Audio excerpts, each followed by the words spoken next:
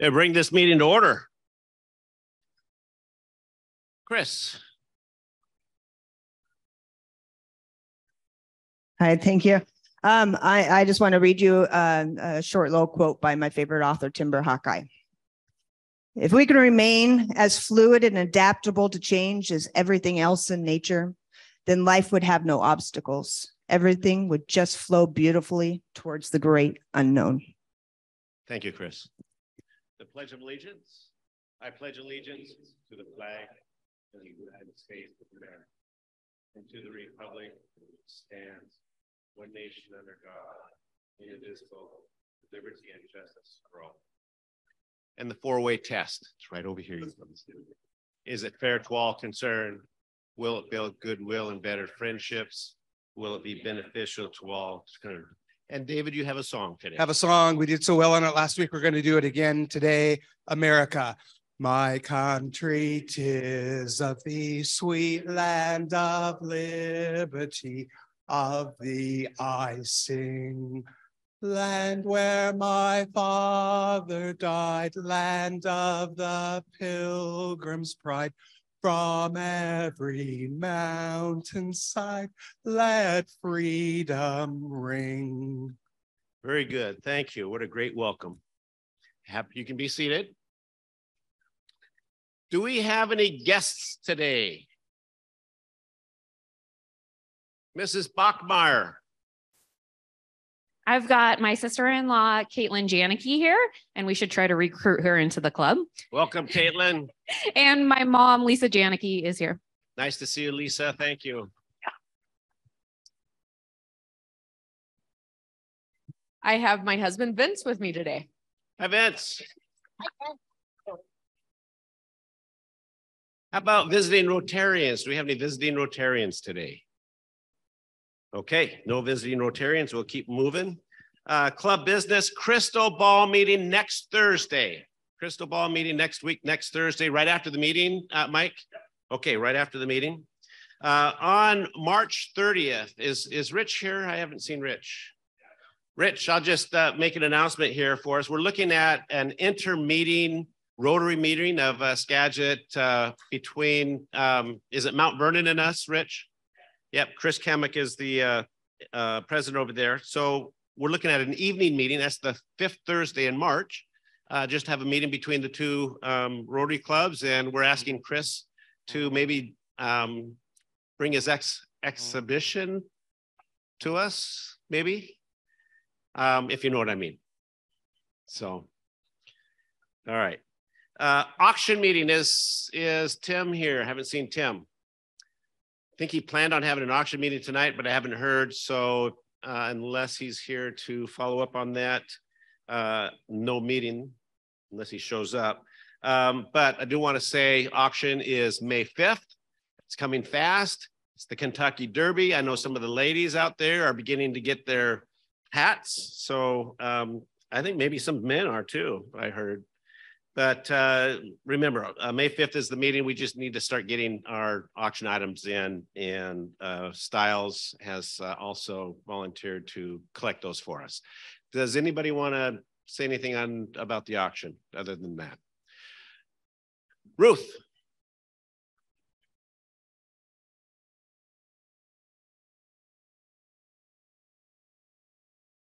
See, I know that people who are on Zoom can't hear us without the microphone being used. So I'm being courteous because Eric is online.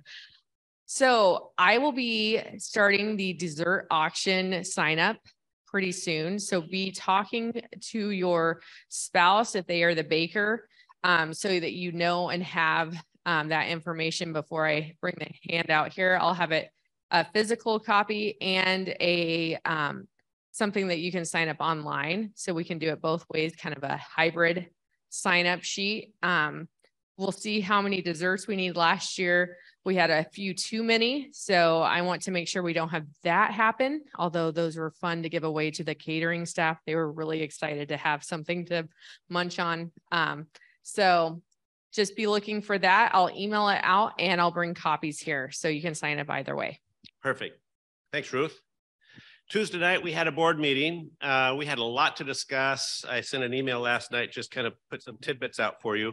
Uh, we did uh, support the high school wrestling team uh, in their state wrestling board. So uh, we're working on that and we'll get them some money to, to do that. We talked about dues. Uh, this has come up a couple of times. Um, and so the recommendation from the board is to bring it to the members. And so I'll work with Steve. We'll bring a proposal to the members. And what we're looking at, just to give you a, an idea, is a three-year phase in.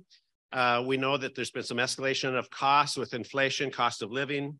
And we're looking at maybe a $50 increase the first year, maybe 25 the following year and 25 the following uh, year after that to close the gap between what we have in terms of club dues and happy dollars and fines and all of that. We're finding that we have about a four or five thousand dollar gap that we're trying to cover. So we have not quite a hundred members. So if we look round it up to a hundred, you can do the math. Fifty dollars um, per person would bring in about five thousand dollars. So we'll bring that to you uh, shortly, and and hopefully we'll come some to a decision. So by uh, July 1st, when we start asking for your payment, uh, it'll be it'll be there. Questions? Okay. Uh, District Board Governor, Dis District Governor Raj will be here January 26th. Uh, Curtis is uh, working on the dictionaries. The dictionaries are here. They're in the, uh, the district office warehouse, and uh, we're just waiting for Curtis to um, help coordinate that. He's he's on it. And let's see what else we have. Uh, the Anacortes Centennial uh, celebration. Uh, we have two, four, six, I think eight of us already signed up, but there's a couple waffling there. If you have uh, are interested in going to the Anacortes uh, Centennial Celebration, it's a dinner. It's in Anacortes at the it's at a warehouse close to the shipyards there. Uh, pretty nice. I was over there uh, checking it out the other day. I have invitations uh, from uh, from their club, and so if you want to pick up an invitation from me, and uh, um, then we'll just go from there. But it is February 23rd. Um, a little bit of a complication. It is a Thursday night. It is a Thursday night. The other uh, meeting um, auction coming up is the Mount Vernon auction on the 28th, Skagit Rotary auction on the 28th. So I just want to make sure I'm going to read the names of people that I have signed up for. So Chris, Chris, you're still interested in going. Um, Becky and Randy, I don't know if Becky's here today. I'll check with her. Um, Eric Johnson Jr., uh, still interested in going. Uh, Christina and Sheena, and then Ken and Janine, you were looking at that. So get back to me if you're not able to go. Where we have a table of eight that's being offered to us. So I think that's all I have right now in club business. Um, we do have a new member. So Mr. Brett Greenwood is here, and I'm going to bring Chris Johnson up, and we'll induct Mr. Greenwood. Brett is the executive director of uh, business operations and anything else that is designated to him uh, at the school district. He's been there about 11 years now, 11 years. So, Chris. Okay. Ruth, I'm going to hand this to you. Don't give it to him too early. All timing. Hey, uh, just before I get going, I just want to extend uh, some thanks and gratitude to our membership team, uh, Dan Sims, Louis Requa, Chuck Rule, Mark Venn. Um, these guys are fantastic with these uh, new board members or new members to, to the Rotary. Um, they uh, quick to answer the call to, to the orientations. And I don't think the four of them have missed a meeting since I've chaired the committee. So just Thank you very much to you guys. Uh, appreciate it, gents.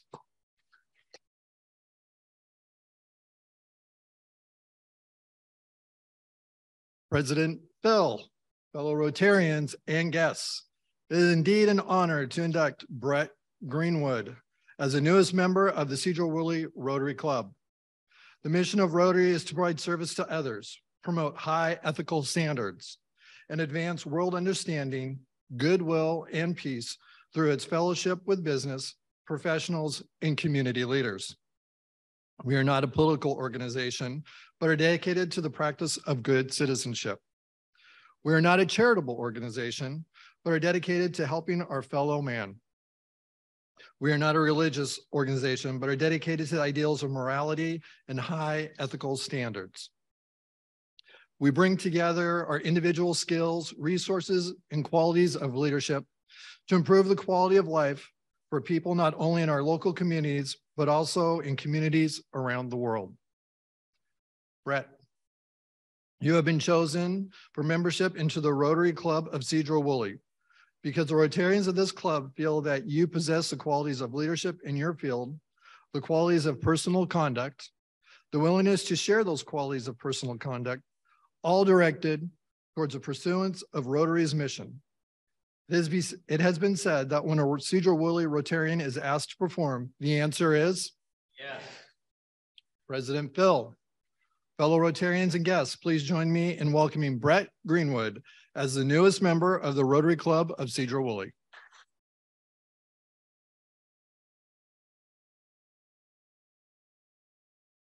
And Ruth, do you have any words of wisdom for Brett as? No words of wisdom. He got all those yesterday. All right, well, congratulations. Yeah, thank you. Thank you. Yes. And, and the most important thing in that packet is what, uh, Chris? The bill going up. The bill, the bill, yeah. For new members, it's a little bit higher. Uh, Brett, welcome to the club. It's just awesome that you're here. You've made it through, uh, well, Mark Venn hired you. You made it through my tenure and, and then, uh, Miriam's tenure. So three superintendents, that's pretty good for a finance guy.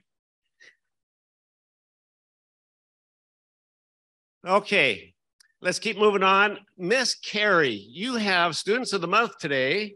I met Isabel and Isaiah, and they are very upstanding and outstanding uh, individuals. And let's hear about let's hear about them.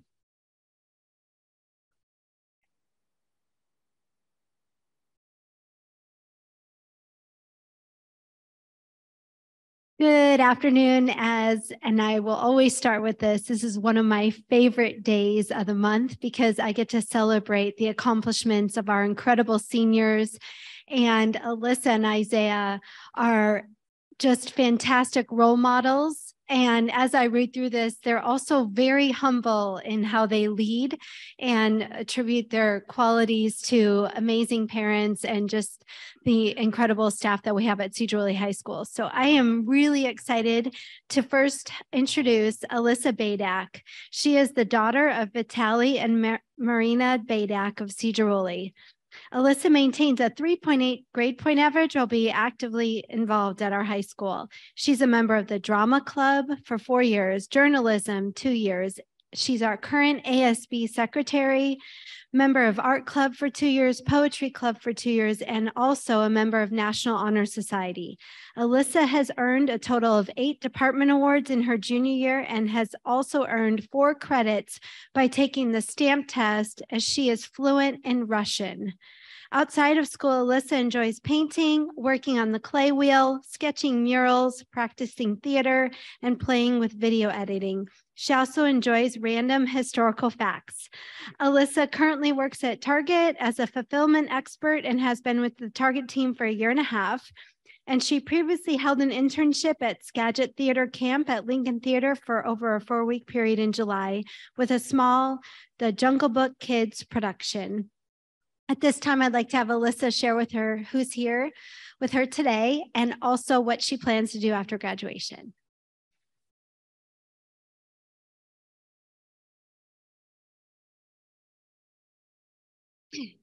Hello, everyone. Lovely to be here with you guys today. Um, there's a lot more of you than I thought there would be, but you know. Um, my name's Alyssa, although of course you know that because she just said it, but that's okay. Um, I'm here with my mom, Marina, and my dad, Vitali, who are vigorously filming me right now. Yeah, they take way too many pictures. It's okay though. Um, uh, after high school, I hate this question a lot, but it's okay. I'll answer it.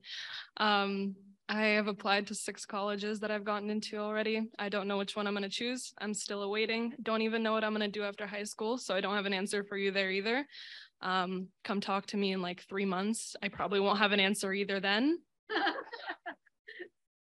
but it's, you, you never know. I, there might be a chance, but we'll see. But I, I don't know. So thank you.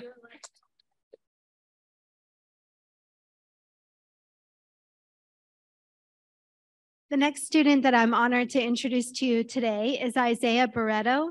He is the son of Renato Beretta of Sedro-Woolley. Isaiah maintains a 3.8 grade point average while being actively involved in our high school. While taking honors classes, he is a huge asset to our varsity football team, varsity basketball team, varsity track and field team, lettering in all three sports. Isaiah is what we call a triple threat athlete. He also won Athlete of the Month in the month of February last year, as well as taking eighth in district at the 300 meters hurdles in 2022. Outside of school, Isaiah enjoys hanging out with family and friends, drawing, lifting weights, playing basketball. Isaiah has been drawing for nine years and he has a love for this art. Isaiah has previously worked at McDonald's and he comes from a military family, whereas the eldest child, dedication was instilled into his character from a very early age. The pressure to perform well weighs heavy on his shoulders, but with dedication and determination, Isaiah always comes out on top. So I'd like to have Isaiah, um, his dad is at work and not able to be here, and his mom lives in Oregon. So I'm just going to pretend that I'm, you know, I get to be the mom as principal of the high school for Isaiah. But I'm excited to have him come to the mic and share where he plans to go after graduation.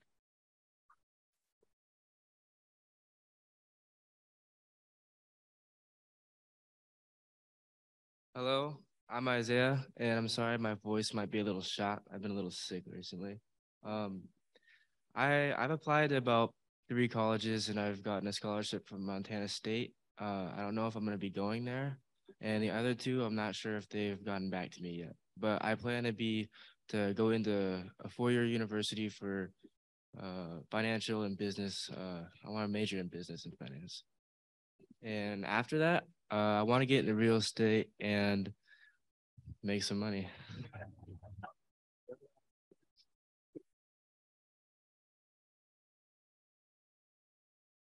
Thank you so much. Thank you, Phil. Congratulations, you guys. And Alyssa, it doesn't matter. Most of us that go to the colleges, university, we change our majors maybe three times before we settle in. So uh, you'll be okay. Yeah. Congratulations, you guys. Real proud of you.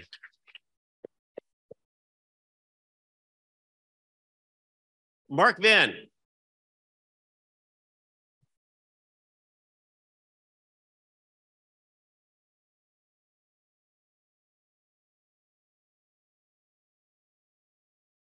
Okay, uh, Miriam didn't want to walk that far, so we'll, we'll just do it right here. So uh, one of the things in retirement and then when I worked uh, that was really positive was the Hall of Fame committee.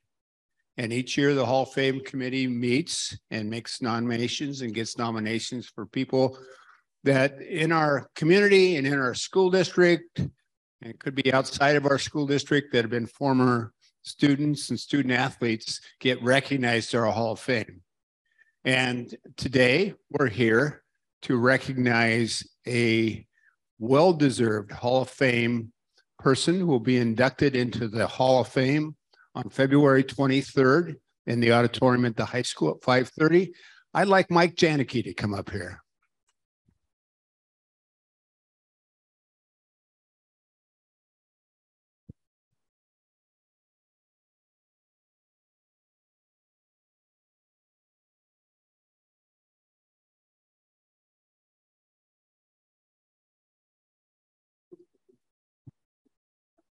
So Mike's usually, he's not usually shy. I think you all know that.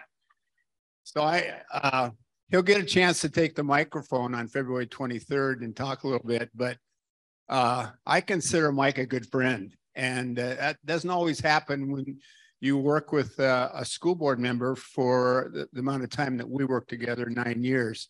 Mike was on the board for many years and served our students here in Sedro-Woolley for many years. He was also a graduate of uh, Sedro-Woolley High School. He'll tell you he got a four point in high school.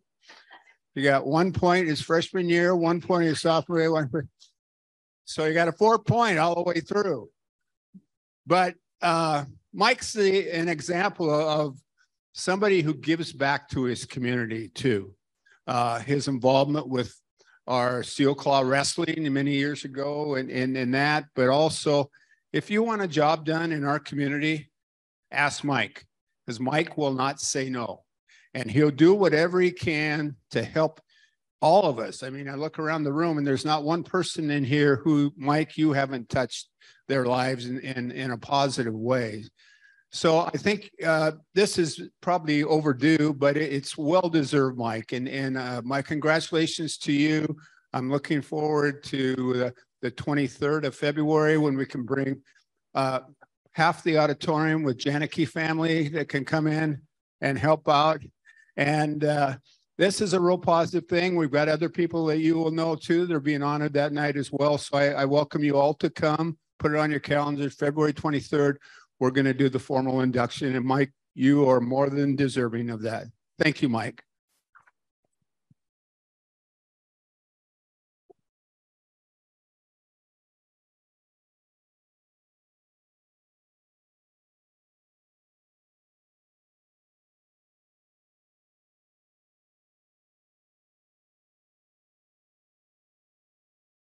Pictures, is that what you're getting? Okay. Mike, congratulations. I can't think of anybody else that deserves it more than you. Thank you. I think we have another announcement. One more announcement.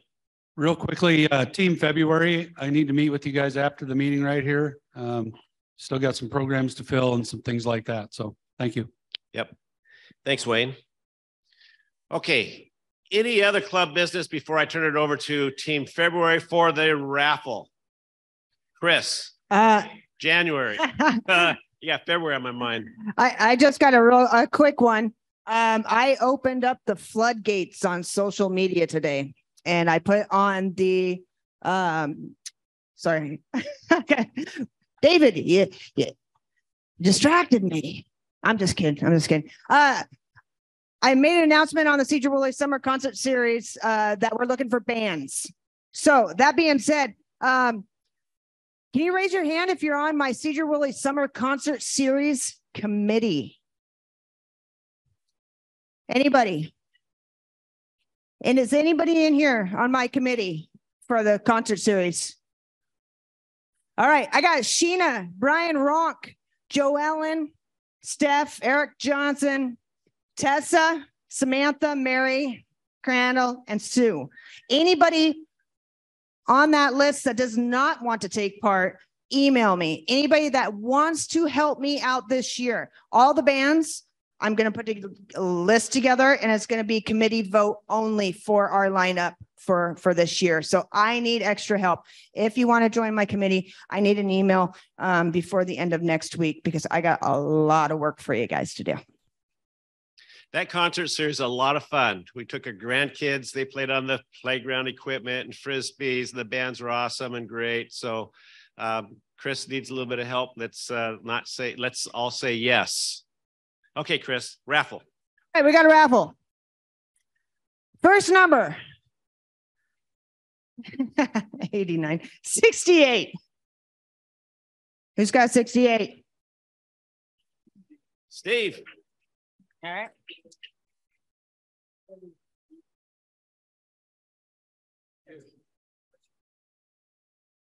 See, I gave him my uh, ticket and told him it was a winner for him. So, what do you get? It looks like uh, North Cascade Quick Lube, $39.50. Although I, I think that uh, they'll, yeah. Uh, 20, 2 0. 2 0. now that's a first. Boy, that's a, a first. Okay, give it another spin. Call a number. Okay, 19. 19, come on. Okay, Julia, give her a spin or take what you got. okay.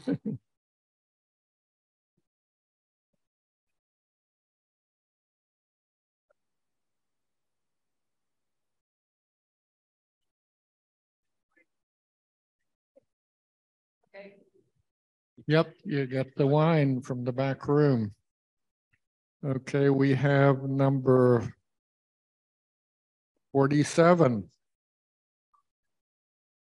All right, our new member.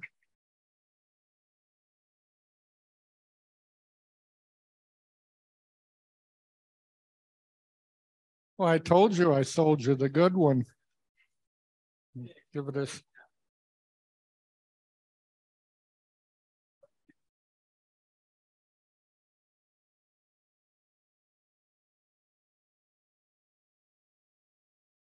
Uh, Oliver Hammer, cool There go. surprise. That's it. I, I, Thank T- you, everyone. T- I, I do want to give Chad uh, some, a little bit of a shout out. He's been working on the wheel uh, for the last couple of months. So Chad, um, if you want to say a few words about where we're at with that. So I'm getting this thing dialed in, and literally the one thing up there that we don't have a gift card anymore.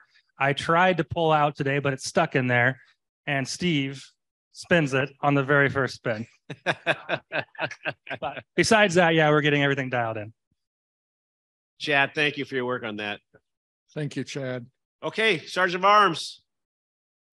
All right, so I don't want to take too much time away from our speaker here, so uh, I'm going to make this pretty quick. I want birthdays, anniversaries. Was it uh, two two bucks? Anybody with a birthday or anniversary this month? Anybody not wearing their buttons? Steve, you won two of these, and you're not wearing. Oh, you do got it. Okay. Anybody else?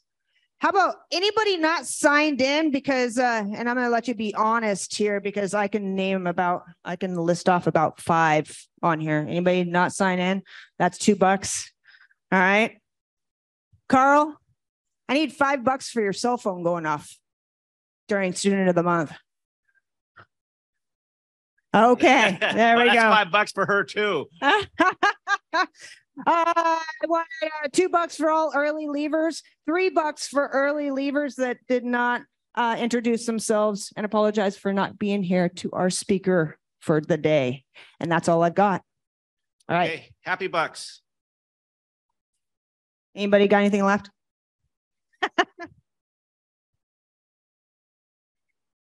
Well, I have a I have a happy 30. Um, first, of course, for Alyssa and Isaiah. Um, congratulations for Students of the Month.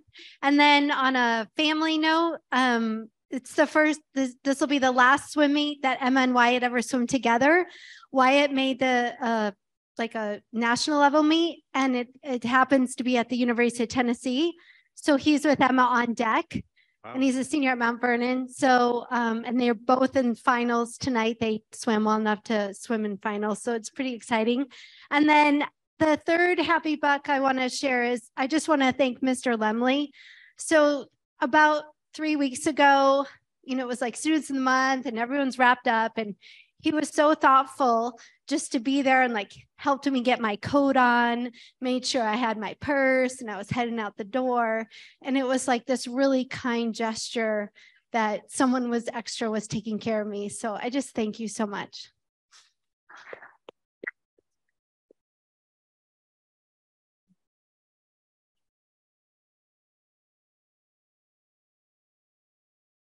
I'll give some happy bucks. You know, it's funny. This year's my son Hunter's senior year. And so you start to recognize some of the faces that come in here for student of the month. And these two are just two of my favorites. Um, they're always a friendly face to me in the hallway.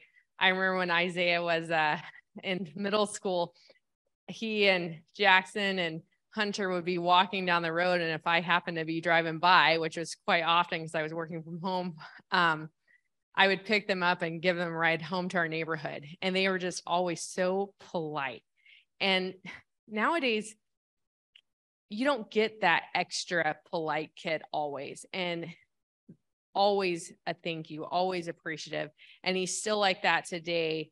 Um, and Alyssa's always such a joy to see. She always has a smile on her face when she sees me in the hallway. And I'm kind of a dork and I get excited when I see the kids I kind of know. And they put up with me. So, congratulations. I'm really proud of you. And you are both going to do amazing things.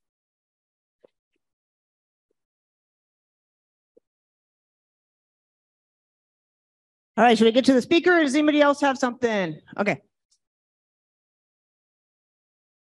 I got some happy bucks. So, as most of you know, in August, I was approached by a different real estate brokerage in town and offered a position of managing broker. Well, the problem was I didn't have a managing broker license. Told them that. They said, okay, we still want you to come over, work on it. Well, two weeks ago, I passed my managing broker test. Hey. So I'm official. All right. I was so impressed with the orchestra last week. Um, and if I remember right, and I hope I don't embarrass myself, but Brock, were you not quite involved uh, about 2008 in causing that to stay a part of the curriculum? Yeah, thanks, Brock. Appreciate you doing that.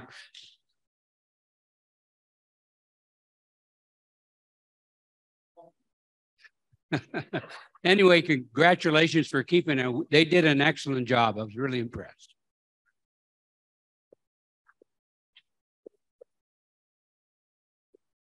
Of Happy Bucks. Uh, January is um, School Board Recognition Month, and I just want to, in this forum, publicly recognize and thank the school board members in the Sedro-Woolley School District, Christina Jefferson, Eric A. Johnson, Danny Russell, Brent Schiefelbein, and Brandon Bond. They give so much of their time and of their energy to provide effective leadership so that our students like Isaiah and Alyssa can thrive. And as a team, they're very cohesive. They ask excellent, insightful questions, and they are in it for all of the right reasons. And not every school district can boast of having an amazing, wonderful school board. So grateful for them and grateful for community partners like uh, Mike Chanicki.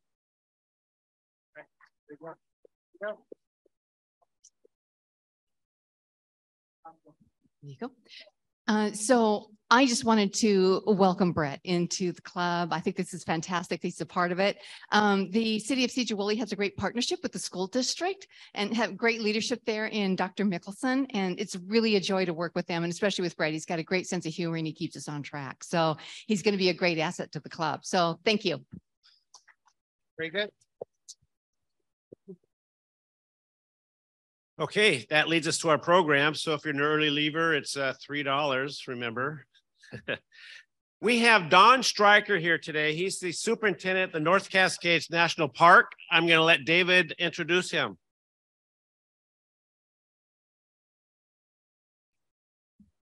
Thank you, Phil. And I want to uh, especially give a shout out to Team January for uh, all their hard work. Um, and I want to make note of a member, uh, uh, Paula Kelly was a member of Team January. And as we know, uh, uh, Paula died the day after her uh, retirement party at the chamber, which was a very, very special time. So uh, Paula gave me some great ideas and suggestions on what to do. She was going to be here every every week to to lead to help out. And one of the things she said for a program was why not chat with Don Strickland at the North Cascades uh, National Park. So I reached out to Don, who's here right now, and and that's the reason why Don is here uh, because of, of Paula and her um, her her help with that. So thank you, Paula. Um, so Don has got a storied career. I, have got his resume right here. I'm not going to read the whole thing, uh, but it's just really, really amazing. A couple things I want to note. He was a superintendent of the Mount Rushmore National Memorial in 2002 to 2004. He um, uh, went to the Wharton School of Business at the University of Pennsylvania, and he's been married for 35 years. He's got three kids, Ryan, Robert, and Kaylee. So without further ado, I want to welcome and thank Don Strickland for being here today. So Don, you're up. Thank you, sir. I've been given explicit instructions too to make sure that I'm uh, I respect your time. I understand I'll get hooked if I go over. What a great meeting to have randomly chosen to come to when we have new members, we have the high school students, um, so many great happy donations. It was so great to hear. Um, and I uh, really respect the work that you all do as Rotarians. And, and uh, I was a Rotarian at two of the six parks that I've been at now. Most of the other ones, like Denali, were too remote. So it would have been a 125 mile drive uh, every Tuesday or Thursday for the meetings. Um, but I really appreciate the work you do. And it's so, um, I, I got such a warm glow as we were reciting the four way test again, because to me, that's always the essence of what makes Rotarians so special is that they actually believe in that four way test. And it just ends up being a really trustworthy group. What I hope to do today is just give you a quick overview of your park that you're the gateway to right here. And, um, and talk about a couple of things that are pointed over here. Thank you. A couple of things that are going on uh, that are exciting right now. Maybe I'll just say next slide if that works for you. Yeah. So first thing, National Park Service as a land management agency, right? Some of you may remember the days of the wars between the Forest Service and the Park Service when we came into being here. Does anybody know what the mission of the National Park Service is? I wouldn't expect people to know that. Um, fundamentally, what we do is we preserve unimpaired the natural and cultural resources of our country. What I like to say is we're the keepers of America's coolest stuff for your grandchildren's grandchildren, right? So the important thing there is to remember that we're in the forever business. Um, and we always try to take that long view when we're uh, applying decision making authority that we have. And uh, here in the North Cascades, we're a relatively young park. Does anybody know what the first national park was, and there's a prize. Yellowstone, nice, perfect. And do you know what year it was?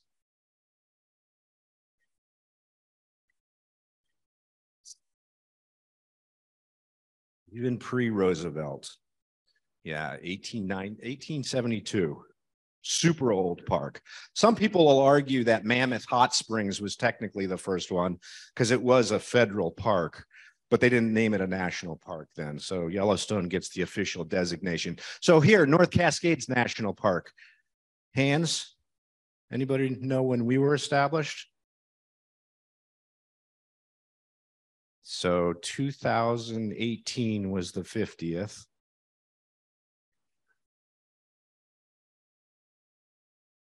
Any any guesses? 68. Who said it? All right. yeah, so we're a relatively young park. The reason that I bring that up is, um, and I'm not a historian, but I'll tell you, uh, according to my sort of short uh, history of the Park Service, the relationship that a park has with its community evolves over time.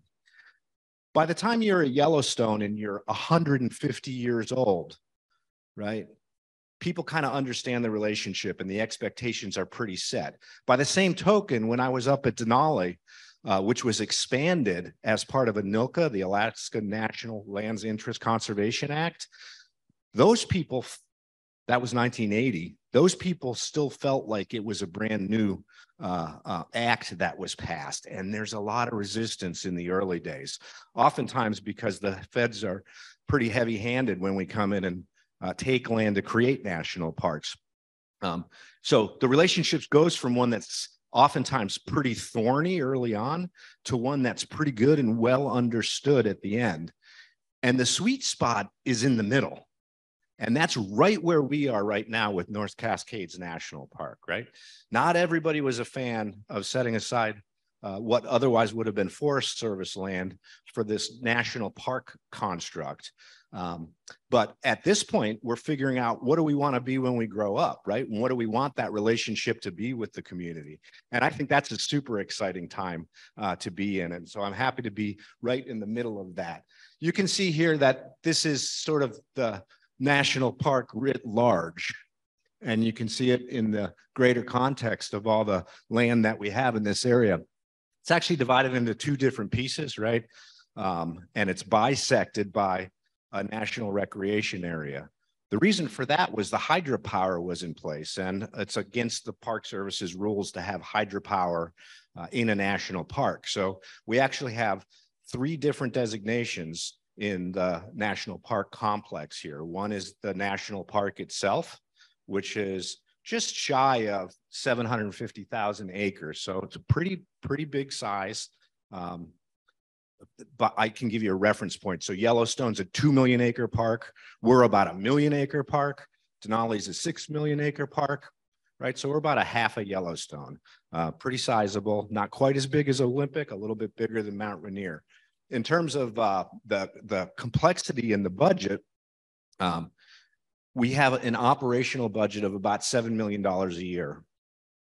That's half of what similarly sized parks um, have. And that's been my biggest challenge is operating on such a shoestring budget. I, you know, I come from Denali, which is about the same in terms of complexity, uh, most recently from Denali. That's about a $14 million budget, right?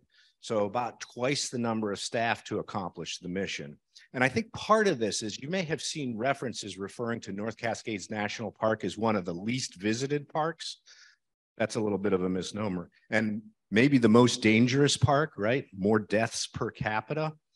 Um, the reason for those um, perceptions is that we separate visitation into the three different areas, whether it's the rec area, the park itself, or Lake Chelan uh, National Recreation Area.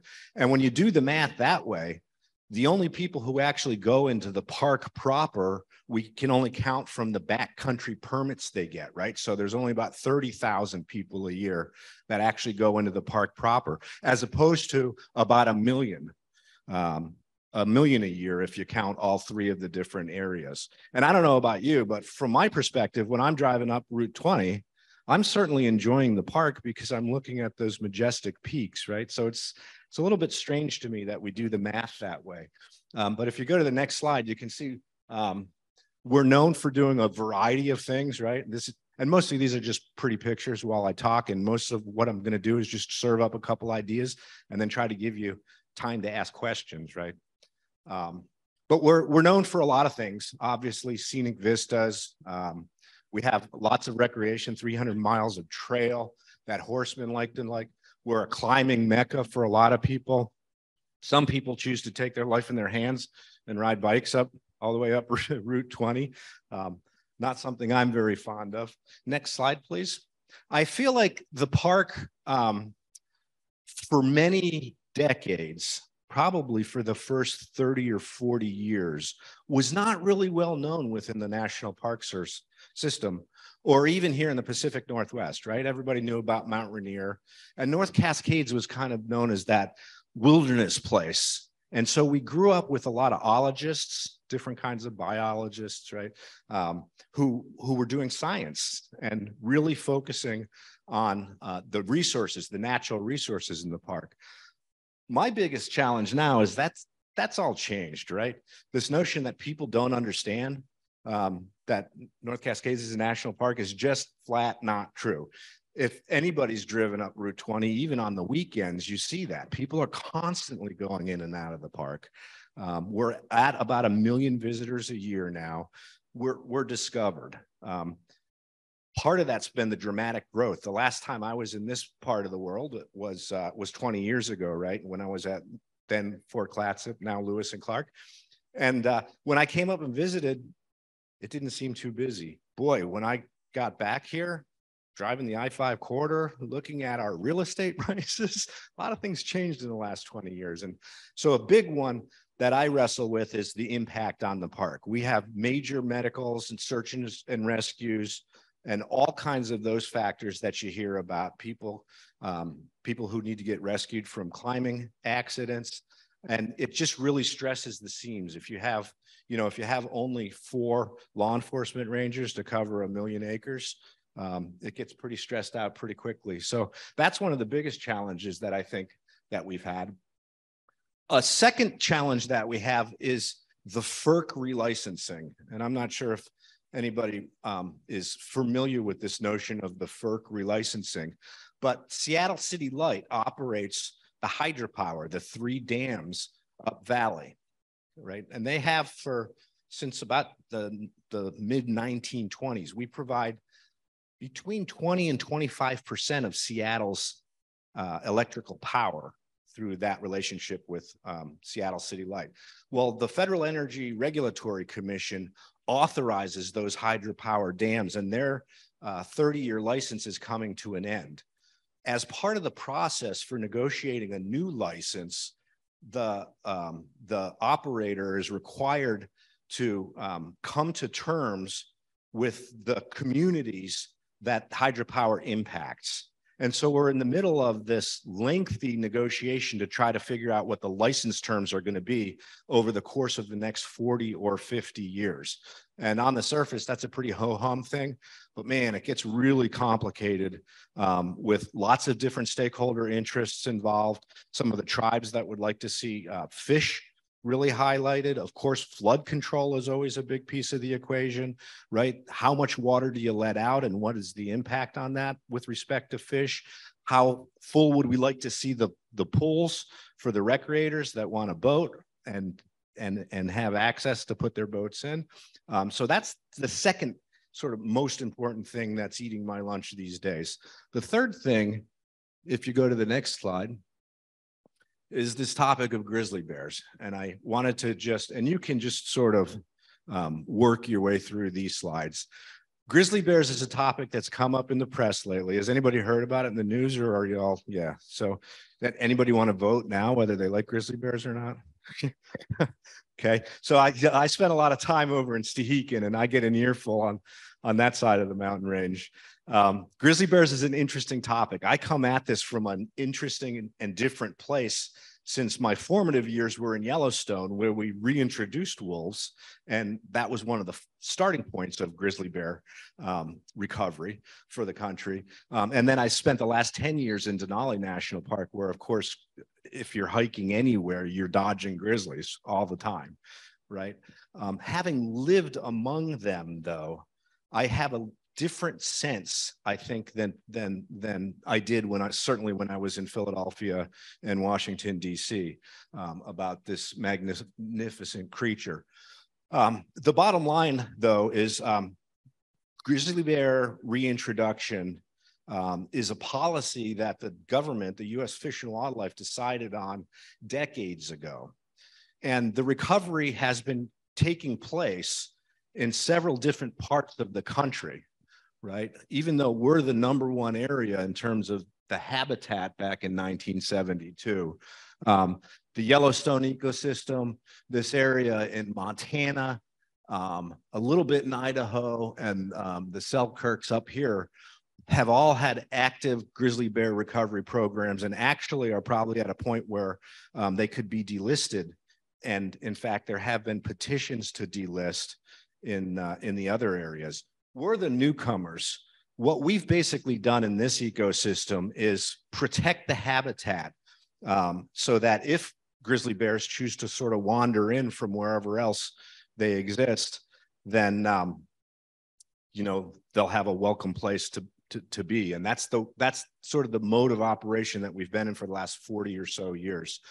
Um, there's a perception that maybe that's not working, right? To actually get this species back here if we are going to try to recover them. And that what we might need to do is to more take a more active hand, actually trapping some of the bears from other areas. And by the way, we're not talking about the big fat salmon eating bears that you see in Fat Bear Week from Katmai, right? We're, we're more talking about Denali type. I, I like to call them the the small vegetarian bears that we had in Denali. Literally, 90% of their food is plants and bugs. Um, and very little is actually protein in the form of big game. counter, sort of counter to what you might think, right? Unless you count the ground squirrels. At least in in Denali, they like to go along and and pull the ground squirrels out, um, or get the ones that the buses run over on the road. Uh, but anyway, so while people are engaged in this conversation about should we actively try to bring grizzly bears back to this ecosystem, um, I noticed something interesting that was going on in Canada, and that's just across the boundary line. The Canadians, all of a sudden, who for the last 10 years have been sort of lukewarm about the notion of bringing back grizzly bears into this part of the country, have decided to get very, very active and it's particularly driven by the First Nations in Canada And they're actually going to start trapping and relocating grizzly bears to just north of the border. And of course, grizzly bears don't have passports or no boundaries, right? So it stands to reason that they may be down here before you know it. There's this little tricky section of the Endangered Species Act that not a lot of people know about. It's called 10J experimental population rule. And what 10J says is if you have an experimental population, in other words, if you don't have an established population, you can decide on different rules for how you're going to manage those endangered species. And given my experience in Yellowstone, being able to actually work with your neighbors to define how should we treat bears? Where do we want them? Where don't we want them? If they wander into areas that we don't want them, what are the management tools that are going to be at our disposal, right? We don't want to just be stuck with shoot, shovel, and shut up. Um, I think we want to be able to actively haze and actively relocate. So, from my mind, when I first got here a year ago, I said, oh my gosh, if Canada brings in these grizzly bears, and if they wander down here to where it's an established population, we're not going to be able to do the 10J management protocols. We're going to be stuck with the normal fish and wildlife rules um, that say that you can't, pretty much can't do anything. And so I was very aggressive in saying we should take a look and have the public input now to try to get one of these 10J experimental population rules put in place at the same time as we're trying to figure out how to deal with grizzly bears. So that's what's going on right now. For about the next year, we're going to be talking about grizzly bears with the all of our affected communities. Um, and I just wanted you to be able to associate a name with a face on that topic, even though I know it's controversial. I'm happy to go anywhere and talk to anybody about sort of what people think.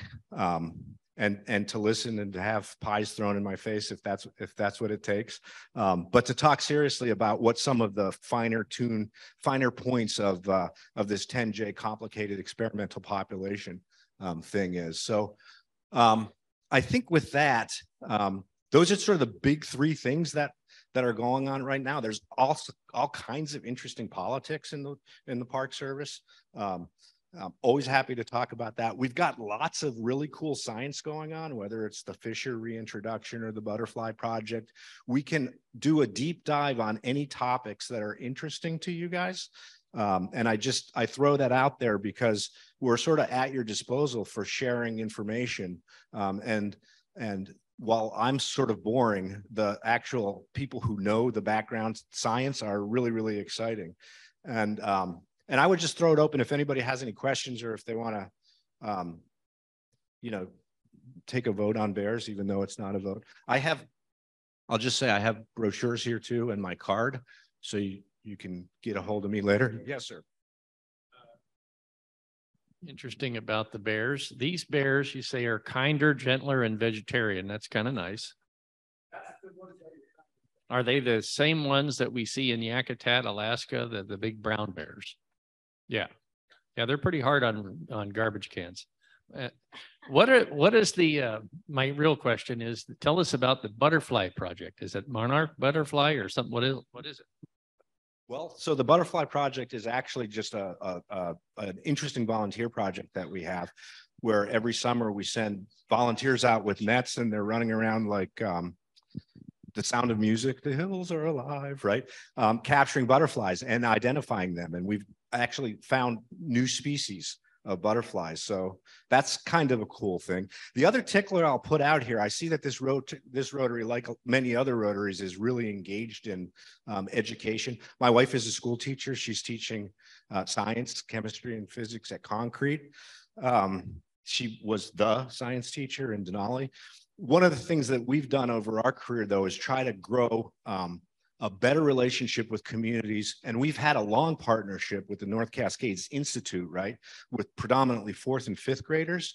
We want to build off of that and actually do something that we called intensives, where we would take high school students for the first or the last week of the school year and have them immersed in the resource following natural resource tracks or cultural resource tracks and actually get an in-park residential experience. Um, fabulous, fabulous programs. Um, we've done things like rangers in training.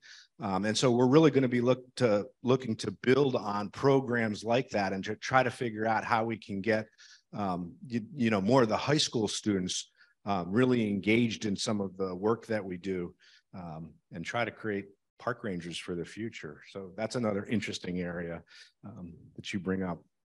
If you want, I can sign you up for the butterfly project too.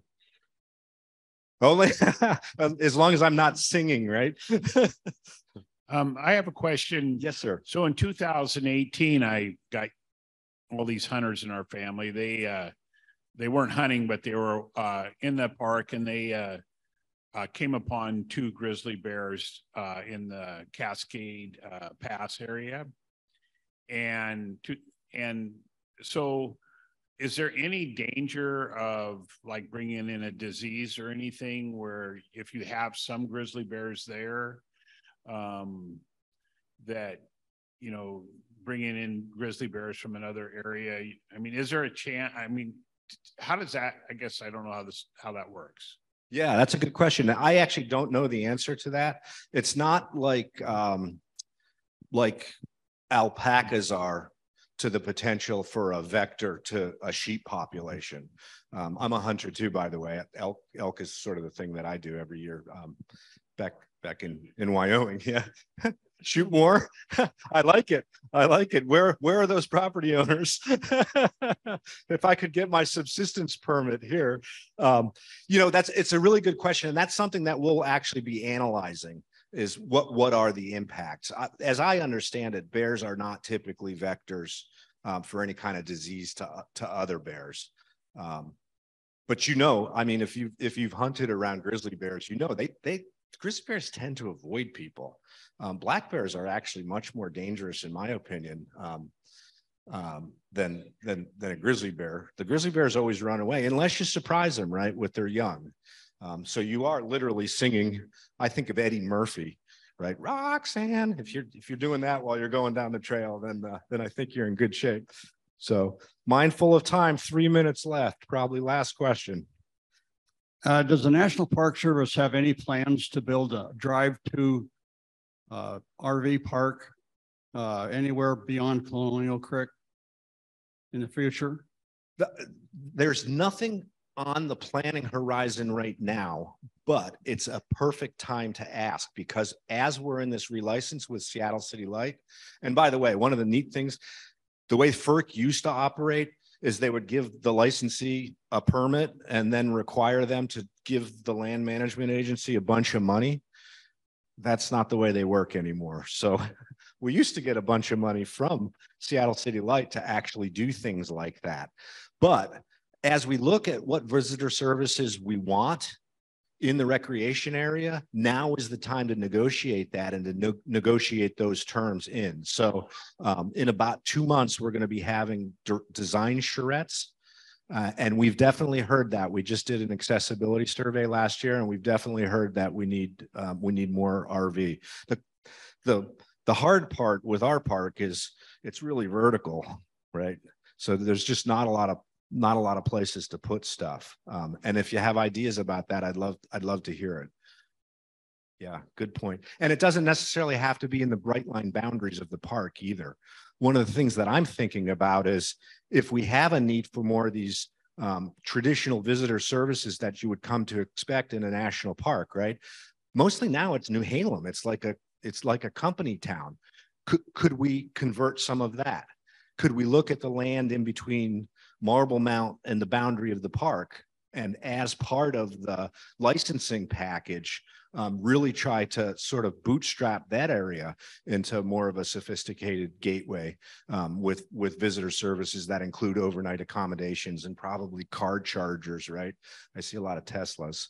Um, I, there is a secret charging spot if, if you go up there and you have an electric car, I can tell you where the secret charging spot is. I think it's in front of building seventy in, in Newhalem. I think that's the building number.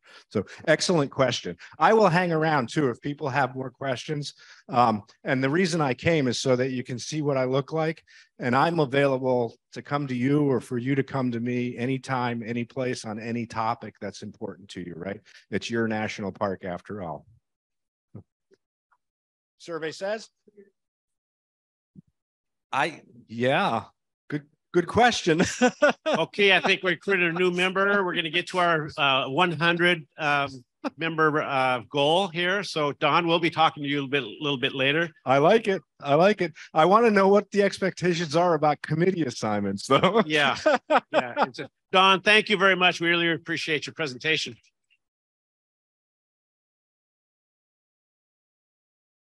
And I do have a, a parting gift for you, Don. This is from the greatest Rotary Club in the universe uh, for you to sign all those uh, important documents that you have and, and maybe the application process to uh, the Sedro-Woolley Rotary. Thank you. I would vote yes. Okay.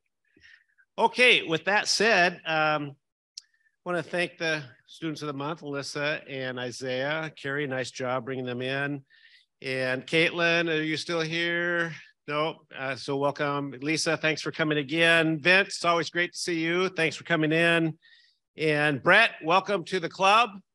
Uh, we uh, are already assigning you committee uh, assignments, so uh, watch your email. You'll get that. And Mike, congratulations one more time. I can't think of anybody that deserves a community award than you. Thank you very much. Appreciate it. So remember, uh, Team February, right after here, uh, after the meeting here, right here at this table, Crystal Bar uh, Ball next week. And that will do it for the greatest Rotary Club in the universe.